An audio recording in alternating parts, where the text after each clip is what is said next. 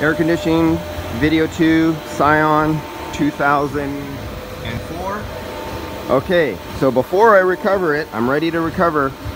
It is 66 degrees outside and I have 53 PSI of refrigerant. We may be very low, that looks like just vapor. So let's open it up and see, let's zero out our scale.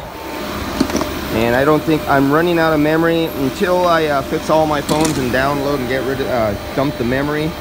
I have to make short videos and okay 14 psi I do have that open I do have that open I do have that open and I don't have the high side hooked up and it's already in a negative.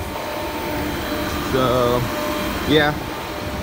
So possibly another case of a customer just driving their vehicle to the refrigerant level is low and they might have damaged their compressor and that might be the source of the noise they uh, were trying to figure out where it came from.